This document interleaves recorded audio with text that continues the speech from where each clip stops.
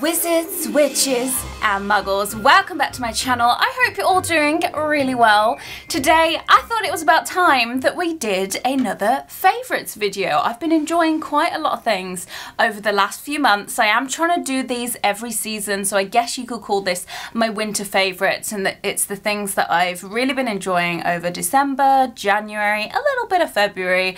But yeah, as per usual, I love to hear your favourites, so be sure to join in and leave a comment down below letting me know what you've been enjoying because most of the time they end up being recommendations to me and all of you guys. So definitely go check the comments if you want to have a little nose. But without further ado, if you're brand new to this channel, hello, welcome. Don't forget you can click the subscribe button if you'd like to become part of our weird, magical, online family. But let's go, because I've been enjoying a lot of things, a lot of things over the last few months.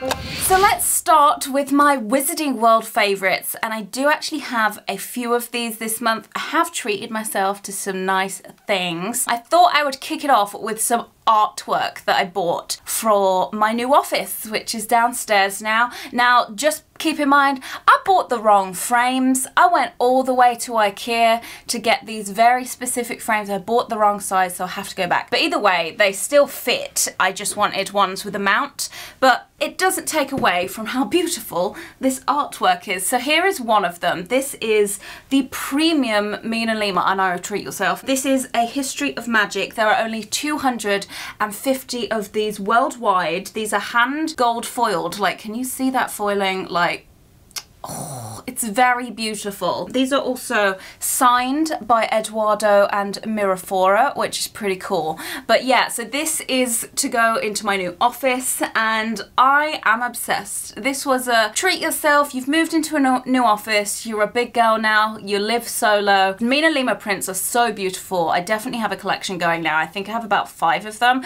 They're not all premium, I think about three of them are. But let's talk about the other one that I got. Now this one is Lush. So this is one of the just standard prints. So there are only a thousand of these in the world. These are a lot cheaper if you don't go premium. But I just thought this was so beautiful. These are all the really intricate kind of memory vial labels. So there's one here that says orphanage. There's a sorting hat one. Tom Riddle. Like they're all so, so pretty. And I just thought these are perfect for the office to go with my time turner one as well. But yeah I absolutely love all of these labels. I think they're so pretty. The way these come packaged by the way they're like in a little scroll and outpost very well packaged as well which you'd hope for such high quality prints. But yeah I am gonna get frames that are a little bit bigger so that I can fit a mount inside and I'll use these frames elsewhere. These are the Ribba frames from Ikea in oak.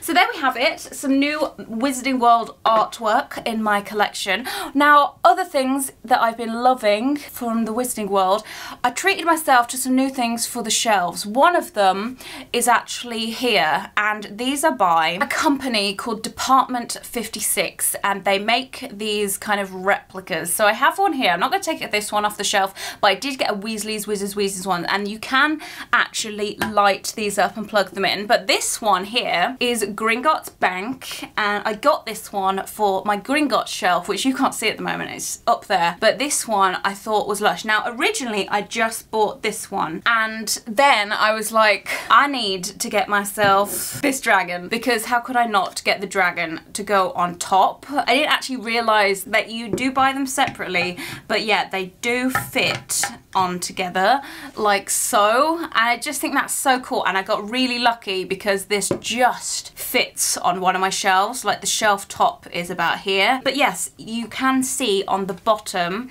that there is a space for a bulb and the bulbs do come with this. I've actually just left mine in the box for now because I haven't got the time to wire it into my shelves just yet. But in the future these will light up and all the windows and everything and same for the Weasley's Wizards Wheezes one over there. But I just thought this was so nice and they definitely do others but I think the Gringotts one and the Weasleys, Wizards, Wheezes were my two favourites, which I was like, oh, I need them. And I actually signed up to be alerted to see when these were back in stock. If you do get these, make sure you check which plug sockets are on them because there's EU ones and there's also UK ones I think. So I obviously waited for the UK one. But there we have it. So there's a new replica that I thought you guys might be interested in. Um, again these aren't the cheapest. I'm definitely trying to only buy things that I really want in my collection these days because I've got a big collection. I'm, I'm not one of these people that will just buy everything just because it says Harry Potter. I'm very very particular. And this was something that was on my list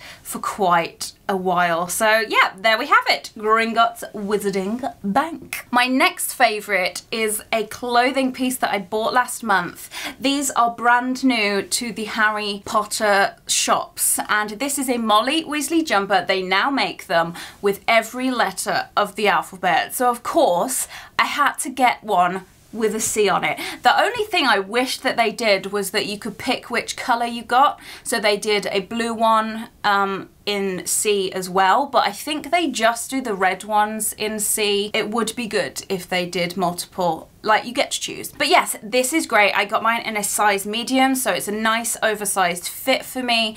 And yeah, great quality. It came pretty quickly considering I think it might have been a pre-order. I'm not sure, I can't remember. But either way, I actually, I actually had a Ronald jumper and I shrunk it actually, no, no I didn't. I had a Harry jumper and I shrunk it. So I've also recently repurchased the Harry one, the blue one. But yeah, so this is the size that a medium should be. And I, I was just looking in the mirror with my Harry one on going, I swear this used to be bigger. It did. If you do get your hands on one of these, make sure that you hand wash or get it dry cleaned only because these do not like washing machines. Uh, it doesn't matter even if you put it on a cold wash, they tend not to like being washed. So I think with these and my Lochaven cardigans, which I also had to buy new ones of, I am only going to take these to the dry cleaner. I just don't trust myself with nice garments. Yeah, so I hope you guys like that. I thought I would um, let you guys know about it in case you didn't know that these were available because they're quite new, but a little bit of fun. So I'm definitely going to be saving that for next winter. I have worn it a few times now, but it's definitely a winter garment. Now, the next thing, we're going to be moving on to books now, but the first one is still Wizarding World, so it's still within the Wizarding World theme. I know a lot of you guys are to ask where I got this from, and I'm not to say because I don't know if the maker wants it this public, but if you're good at Googling, you'll be able to find the maker. But I got this recently, and I have wanted a copy of Rita Skeeter's The Life and Lies of Albus Dumbledore and this is movie accurate. We've even got Rita on the back. Um, it's also a full book, which is insane. Granted, I will say that it's a full book with quite large, um, ooh, talk about that in a minute. Um, it's got quite large and spaced out font, but it is a fully readable book. Um, we've got we've got old Dumbledore himself in there, Albus Percival, Wulfric Brian Dumbledore. But look at this cover. We've got this kind of um, holographic Rita Skeeter. Like, it's just beautifully made. This is the spine of the book as well. It's just absolutely stunning. So I've actually made myself a little Flourish and Blotts shelf. It's over there and I've got the Rita Skeeter pen as well. I just think this is so so cool. It's absolutely beautiful. Here's the little title page inside. Uh, Daily Prophet Press. Like this wasn't cheap. I think I paid around 120 pounds for this book. I know that's a lot of money for a book, but they're all specially made and there it is. Now this came in a very beautiful envelope which was gold foiled and it said Flourish and Blotts on it. And then inside was this note here.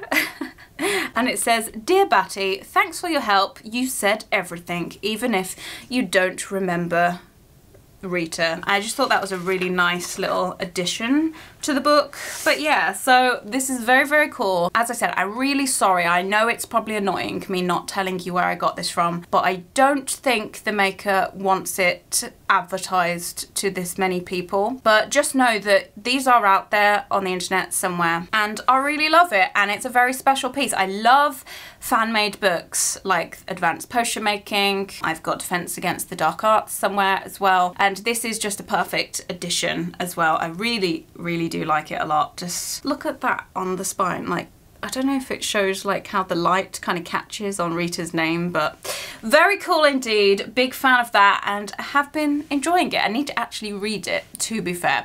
Now, speaking of books, I do have a few other book favourites this month. Ooh, I've actually got a book due as well, but obviously that's not going to be a favourite because it's not arrived yet. The first one is this. This is huge. This is the Animal Crossing Official Companion Guide by Future Press.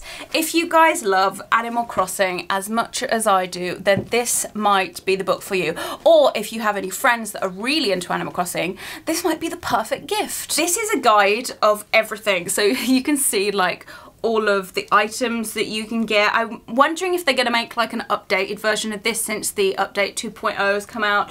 But it's really, really cool and it gives you loads of tips and tricks and loads of help helpful things. Like even here, you can actually see it comes with a really cute bookmark. And um, it shows you how to do all of the kind of flower crossbreeding and that kind of stuff. It's just a really in-depth book of loads of things that you should know or need to know if you are really into Animal Crossing. Now, I know that I'm just like, yeah, Animal Crossing. I've left my villagers for over two weeks now. There's going to be so many weeds. I will do an Animal Crossing island tour at some point because I have got all the villagers that I dream of now, except a couple, but I'm really close to having a full set of my dream villagers. So yeah, I do recommend this. I think I got this from the book depository website, but you can get this probably on Amazon now, to be fair. But it's a really lovely book. Look, it even shows you all the postcards that you can get to send your friends and stuff and all of the music that's available. Very, very cool indeed. Um, also in the back of it, which you might like, is a double-sided poster. So this is one side. Oh, it's, it's very large. so that's that. And then this, which I really like, which I'd be tempted to frame, is a poster of all the bugs, fish and sea creatures that you can catch. I think it's all of them. Yeah, but how beautiful is that? It's like something that Blathers would gift to you. I know that he can give you posters now, but I am tempted to like actually frame that and put it in like my living room or something. I just think it's so nice. This cost me, I think, £24.99 when I pre-ordered it, but you can probably get it for cheaper now. Now, I started a new hobby at Christmas. Granted, since I started work again, I've not had too much time to continue with it, but I have been really enjoying it. I bought two books. They're on the same thing. I'm just going to show you these together. So we've got the knitting book, and it's got over 250 step-by-step -step techniques, and I also got, quite a few of you guys actually recommended this to me. This is a little course in knitting, and I got this from World of Books on eBay, hence why it's got a little book bandage over a price sticker. So it probably is a used book, but it's in beautiful condition and it just shows you like how to cast on, like all the basics of knitting. I can't wait to carry on. I made a scarf, guys. It took me four days from learning how to do it to completing it, four full days. I'm really proud of it. I'll show you in a minute. But if you guys want to start knitting, YouTube tutorials and these books, I think would be a great place to start. I will just show you a little bit inside of this book. So yeah, there we have it. It shows you how to do like circular knitting, different types of colour work, all sorts of stuff, even edging patterns and things. Like there's just so much to learn and I'm very excited. I want to start my second scarf soon. And I mean, whilst we're talking about knitting, I may as well show you what I bought for my new hobby. So this is definitely a favourite. Guys, look!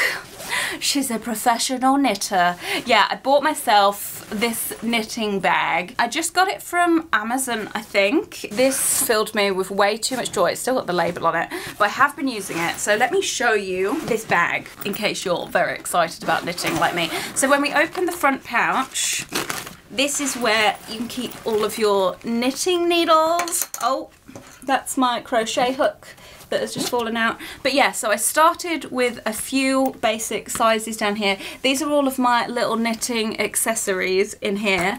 Um, again, very excited. I did get some of these little silicone thimbles because my finger was really hurting when I started and I got all sorts of bits and bobs. I got some knitter's needles. These are really good if you want to thread in loose ends. Um, check this out. I will show you these two because these are quite exciting. I got myself some little knitting scissors that looks like a stalk.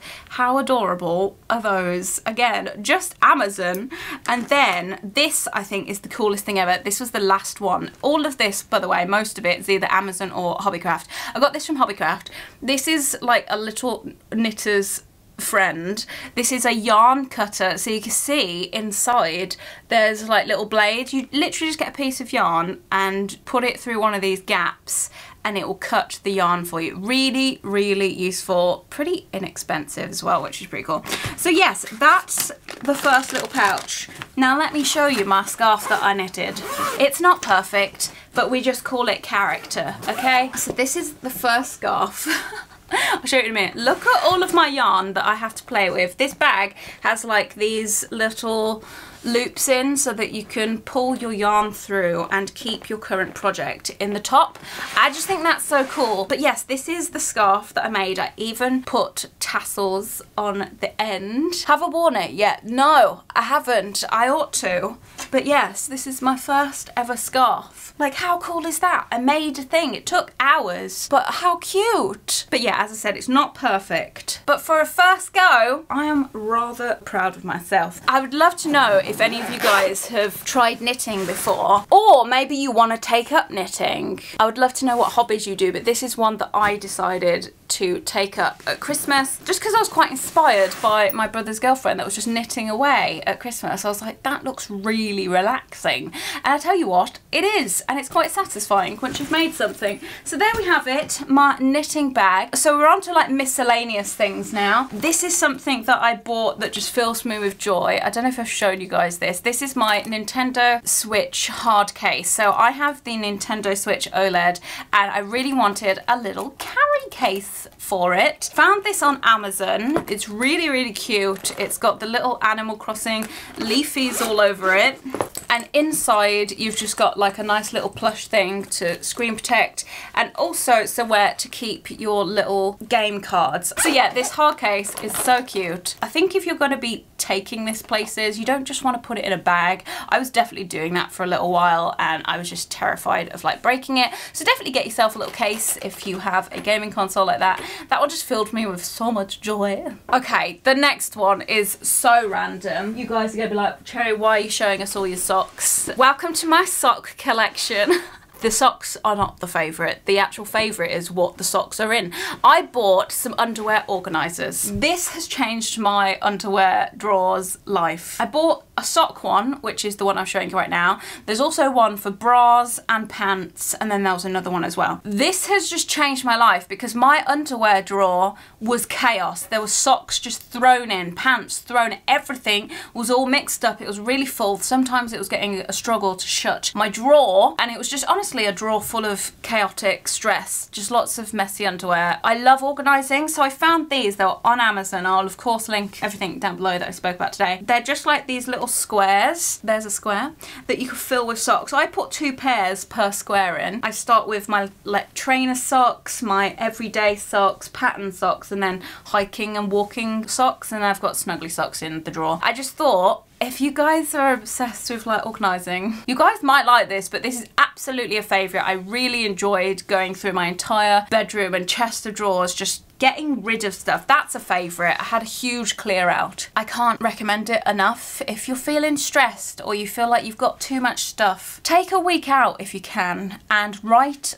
a master list of everything that you want to clear out. Maybe I'll do an organisational video at some point, but I always write a master list. So each room, each thing that needs sorting, so like wardrobe, chest of drawers, bedside table, vanity table, whatever, and just go through every single item. Like it is a task. You need to go through every single item that you own in that particular room and either sell it, donate it, or keep it. But like, just be ruthless. I'm pretty ruthless. I do one of these clear outs every January, and this just made me very happy this January when I was doing it. I've never really mastered the organisation of my underwear drawer until I bought these. And again, they weren't that expensive. They came in a set, they come flat, and then you just pop them up put your socks in, you're winning. So there we have it. Very random favourite indeed, but thought you guys might enjoy it. Let's talk about some fashion favourites. I have bought a couple of new pieces of clothing over the last couple of months. I'm going to start with my coat. So many of you guys have probably seen this on Instagram. It's the coat I've just been wearing everywhere. It's got little buttons, it's got a little lapel, it's got massive pockets, but it's this like teddy material. And I can't tell you how warm and snuggly and comfortable this coat is. I got it from Marks and Spencer's. If I'm recalling correctly, I think it was about £60, maybe 65 but best purchase. I haven't bought a coat in a long while and you know you need a good coat, especially in England in the winter, but I just really like it and I, I think I saw it and I was like, yes, that coat is lush and then I left the shop without it and I couldn't stop thinking about it for weeks. And then I went back to Marks and Spencer's with my mum and I was like you know what? I'm gonna treat myself. I can't stop thinking about it. This coat needs to be mine. And honestly one of the best coats that I've ever bought. It's just oh it's just so comfortable. There it is and it's got two little buttons at the front. Thought you might like it. I know a lot of you guys ask where it's from. The next thing, you know what, this is twice this year that I have been sucked in by an Instagram ad. Like, they know me well. They target me extremely well. I... could not resist this. This is by a company called Elf I Aelfric Eden. There's the label. There it is. It kept coming up as like an ad on stories. I kept looking at their website. I kept going on there. They got some really cool stuff. This kept catching my eye. I was like, that looks so snuggly. So I bought it. I did. I treated myself. It's this big teddy bear hoodie. It's just... it's heavenly. The only thing I will mention is when I got it, I did expect the lining to also be teddy. I don't know why, but I did expect it to be. But it's this kind of like silky, silky material, which it's definitely a bit more slidey than I'd hoped but it is comfortable. The only downside is its pockets. The pockets inside, look how cozy this looks. Like, it's I'm the teddy bear queen. The pockets also have that slidey material inside. And I have put my phone in this pocket and my phone's just slipped out. Thankfully it was just in my car. So I probably wouldn't trust these pockets. But as fashion goes and if you want to stay warm this is definitely cozy. So yeah check them out. But it definitely was an Instagram ad like moment. They just drew me in. And I'm not sorry about it because it's really cute and I've worn it quite a lot. My final fashion favourite. I have something to admit. I haven't worked out since like October 2021. It shows. But that's fine. I had like a really fun winter of eating everything under the sun and lived my best life basically and I'm not sorry about it. But I'm getting to the point now that spring is coming that I really want to start working out again. Especially as I also want to look my best, especially as I got a convention this summer. So I definitely want to look my best for that. Treat myself to some new workout clothes. Again, Instagram. It was someone that I follow this time, a fitness influencer, and she wore this colour. I don't know if you guys know me, but lilac over the last two years has been one of my favourite colours to wear. I had to get these. These are Gymshark leggings. It's all I wear when I work out is Gymshark. I am one of those people. So yes, I bought the bottoms and I obviously bought the training like workout bra as well in the same colour. Like how cute! How cute! That's the set, and that's normally where I'd kind of like stop there. But I saw these and I fell in love. Now they look a bit crinkled, but they're like shorts on the inside, the same as the leggings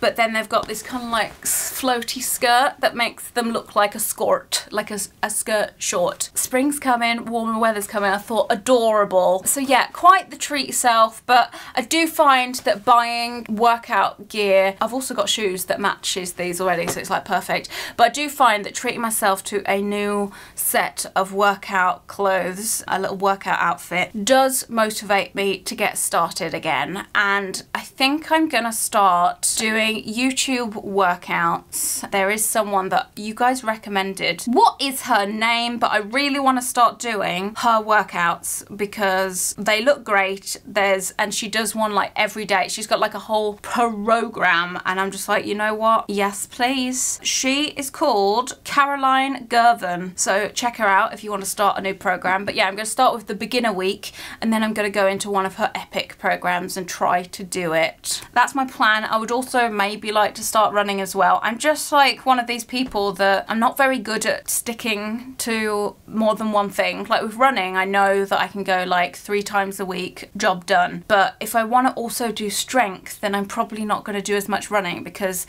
Working out three times a week, maybe four, is probably my happy amount of working out. So yeah, I've just got to find that balance of maybe cardio and strength, or maybe I do one week running and then one week strength and then alternate it. I don't know. I'm not. I'm not a fitness guru. I never will be. But hey, it's the it's the thought that counts and the trying. That's what I say. What other favourites do I have? So let's talk about. I got a tech favourite. That's right. I got a new computer. I always always thought that I would be the girl that just stays Windows forever. I loved my Windows computer. I was like, I need to have at least one because like I know it, but no. I retired my Windows computer and I bought an iMac and I don't regret it. It looks really nice. I've got a new office now.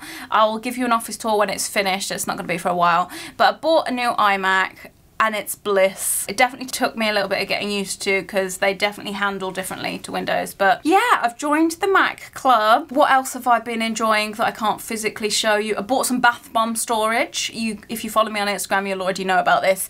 But bought some bath bomb storage. I bought this from HomeSense. It was £50 and I tell you what, it's perfect. In each little basket, I've got bath bombs. I've got one for bubble bars. I've got one for lotions. Like, it's just beautiful. It fits perfectly. And I guess my last favourites are actually TV and film. I've got four this month. The Harry Potter reunion. I know you guys have been waiting for me to talk about that.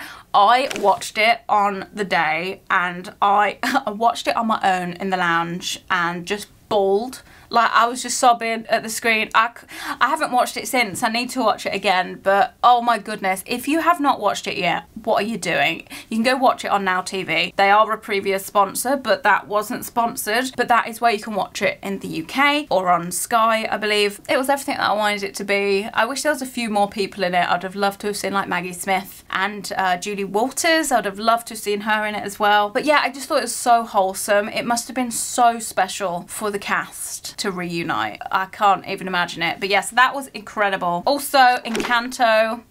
We don't talk about Bruno, no, no, no. We don't talk about Bruno.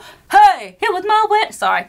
Um, yes, the whole world has been taken by storm. That's all I'm saying. Disney Plus. I just wanted to watch it because everyone was talking about it and then I watched it and realised why everyone was talking about it because it's beautiful and the songs are amazing to the point that We Don't Talk About Bruno is number one like globally. It's ridiculous. So yeah really enjoyed that. And the next two shows one I've just finished which is a woman no this I'm, I'm gonna have to google the title of this because it's so long. Now this is meant to be a parody but honestly I quite enjoyed it as it was, not knowing it was a parody, to be fair. Like, it was obviously, it was obvious what they were playing at. it's called The Woman in the House Across the Street from the Girl in a Window. And it's a parody on, like, films like Gone Girl and, like, Girl on a Train and, and that kind of thing. But it was super, super good. The main cast is Kristen Bell, Michael Ealy, Tom Riley, etc. But honestly, Kristen Bell is incredible. I binged it. It was a recommendation from my best friend. I was like, you know what? Yeah, I will give it a watch. It was really good. Tell you why I enjoyed it. It was enjoyable just for what it was, but you cannot predict the amount of plot twists that are in it. There's a plot twist like every 10 minutes. It's like, oh, oh, oh, it's so good. I think there's going to be quite a lot of mixed reviews about it, but I really enjoyed watching it and I enjoy Kristen Bell, so there's that.